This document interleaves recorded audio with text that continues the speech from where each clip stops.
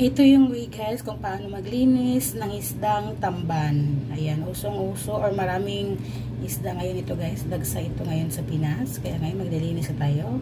Siyempre, kaliskisan muna natin. Ayan. Dahan-dahan lang sa pagkaliskis guys kasi malambot yung isda na to. Ayan. Ayan. Then, gagawin natin dito is tanggalan ng hasang.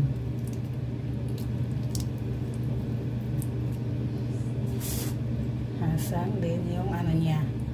Yan. Mga bituka niya.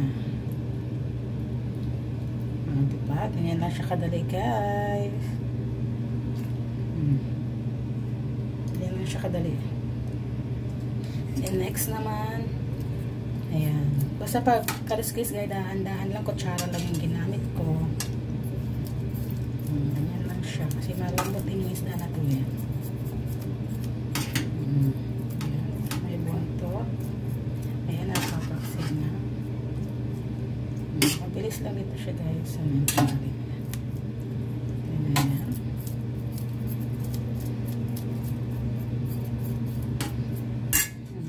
Tanggalan natin ng hasang.